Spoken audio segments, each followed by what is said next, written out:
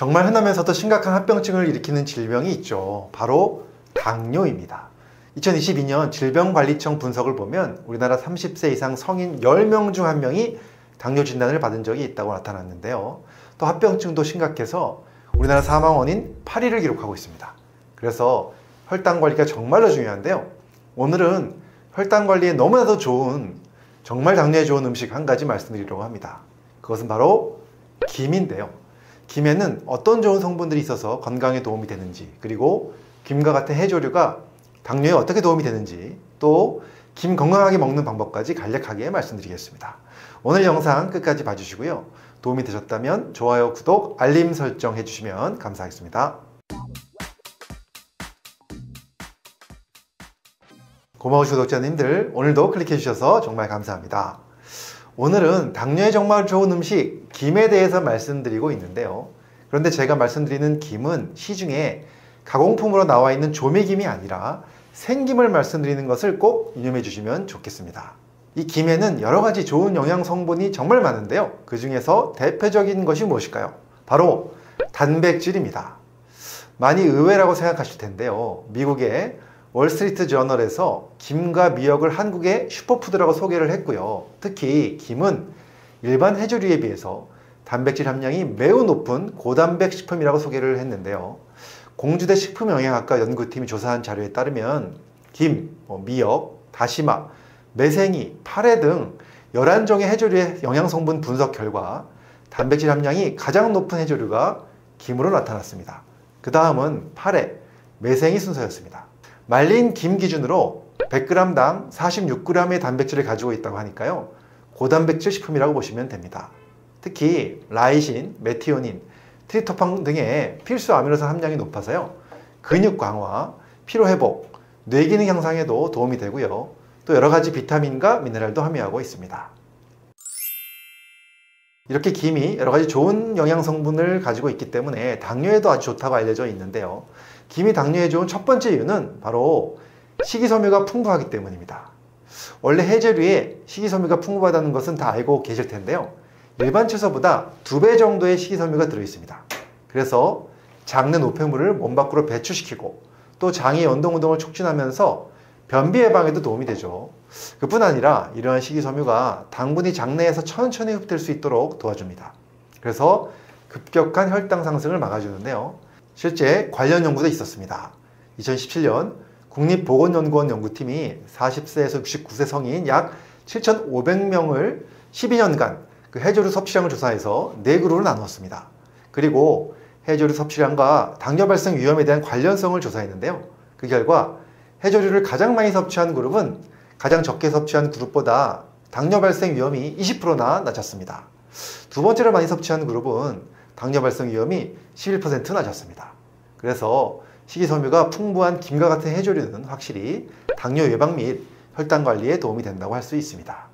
김과 같은 해조류가 당뇨에 도움이 되는 두 번째 이유는 바로 후코자안틴이라는 성분 때문입니다.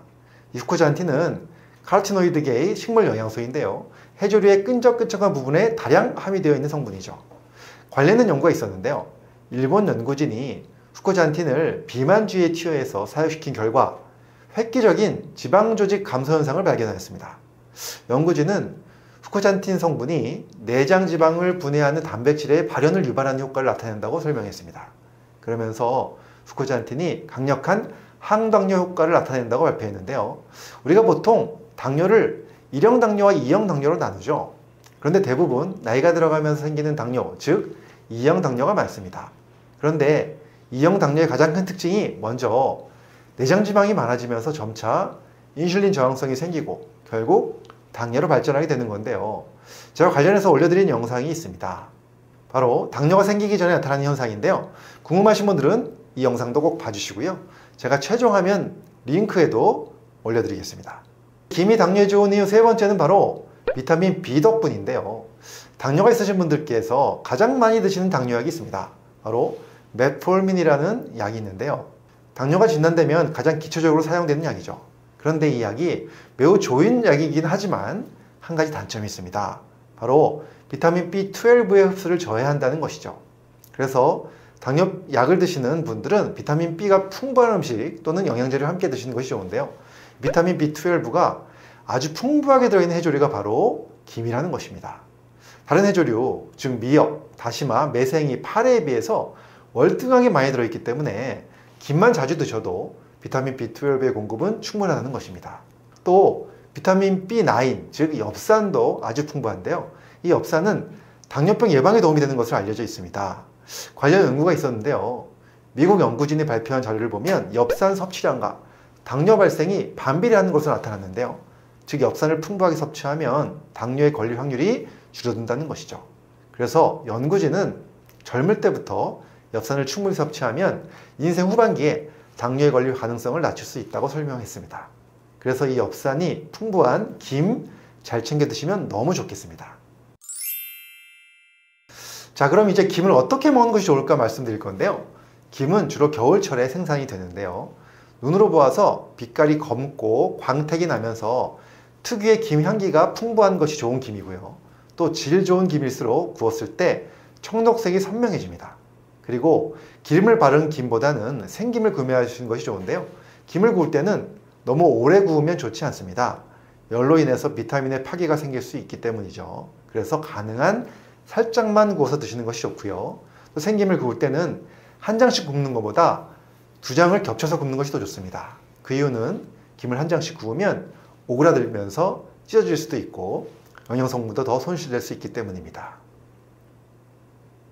자, 오늘은 당뇨에 정말 좋은 음식 중 하나 김에 대해서 말씀드렸는데요. 생김 구매하셔서 살짝 구워서 드시면 여러 가지로 건강에 좋습니다. 우리 구독자님들 좋은 김 잘 챙겨 드시고요. 혈당 관리도 잘 하셔서 더 건강하시고 행복하시길 바랍니다. 감사합니다.